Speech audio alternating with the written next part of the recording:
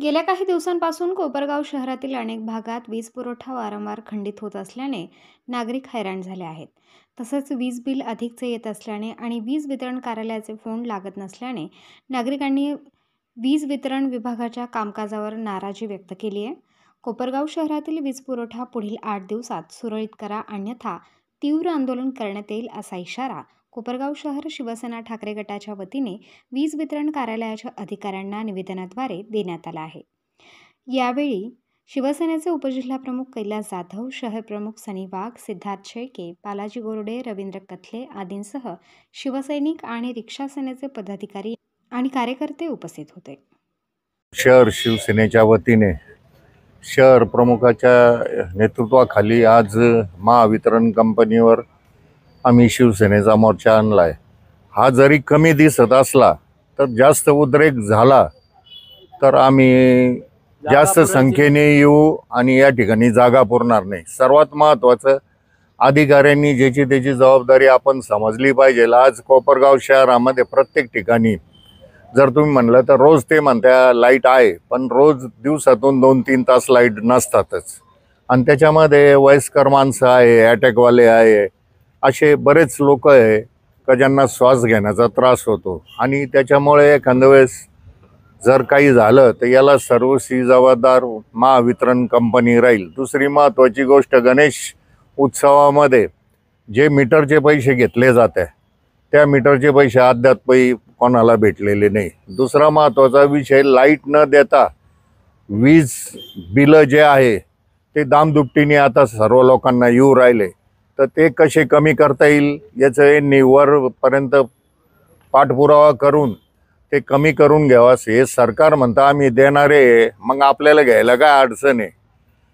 सर्व गो सर्वच लोक श्रीमंत नाही ना? गोरगरिबाचा बी विचार झाला पाहिजे ना?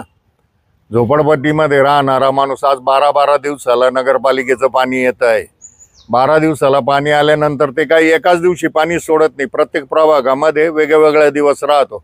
पण त्यावेळेस सुद्धा हे लाइट घालवतात. त्याच्यामुळे हप्ताभर पाणी पुरल का नाही अशी शंका आहे. आणि गरिबांच्या घरात एवढा साठवणचा हे नसल्यामुळे त्यांना रोज पायाची पायपीट करावं लागते डोकला एवढ्या आठ दिवसात जर आम्हाला निर्णय नाही आला तर आम्ही शिवसेनेतर्फे मोठं आंदोलन उभं करू आणि वीज मत मंडळासमोर डायरेक्ट उपोषणाला बसू. कोपरगाव शहर शिवसेनेच्या वतीने उपजिल्हा प्रमुख कैलास जाधव यांच्या नेतृत्वात तसेच सर्व शिवसैनिक इथं एम सी बीच्या अधिकाऱ्यांना निवेदन देण्यासाठी आम्ही इथे जमा झालो. निवेदन देण्या- देण्याचं कारण असं का सतत वीज पुरवठा खंडित होणे. त्याच्यामुळं नागरिकांचे हाल होणे.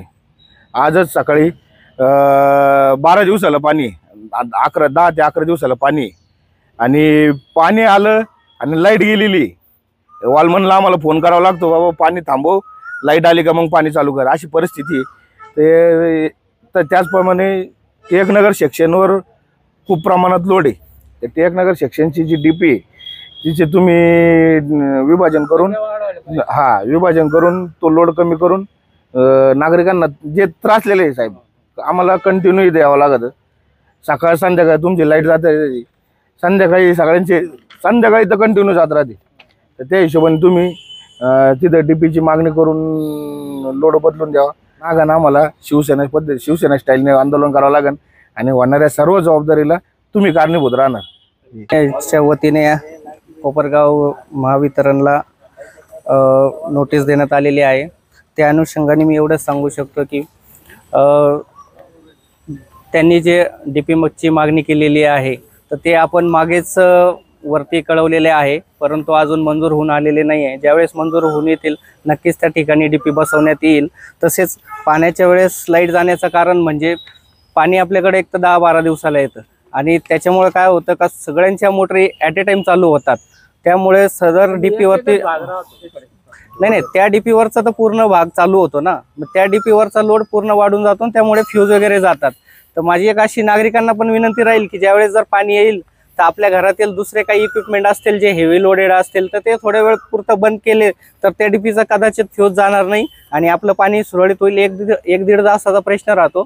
तर आपण बाकीचे थोडेफार जर कंटिन्यू फ्यूज जात असेल तर थोडेफार इक्विपमेंट बंद करून मोटरी चालून आपलं पाणी होऊ शकतं. या या ठिकाणी आपण जर बघितलं तर फोन उचलला जात नाही अशी देखील तक्रार आहे. नाही फोनचं काय होतं का समजा ज्यावेळेस फॉल्ट होतो तर त्यावेळेस सगळे कर्मचारी हे लाईनवरती जातात फॉल्ट शोधण्यासाठी का जेणेकरून लाइट लवकर चालू होईल. त्यामुळे लँडलाईन इथे उचलला जात नाही आणि त्या लँडलाईन उचलला जात नाही याच्यामुळं आपण सर दोन्ही सेक्शनला शहर एक आणि दोनला मोबाईल नंबर दिलेले आहे. मोहिनीराजनगर तर ह्या भागातील मोबाईल नंबर नव्वद अठ्ठावीस पंचावन्न एकोणपन्नास अठ्ठ्याण्णव आहे. तसेच त्या टिळकनगर गजानन वगैरे भागातील मोबाईल नंबर नव्वद अठ्ठावीस पंचावन्न सत्तेचाळीस एकसष्ट असा आहे. जर काही कुणी फोन उचलला लँडलाईनवर उचलला नाही तर ह्या मोबाईल नंबरवर कॉल करण्यात यावा.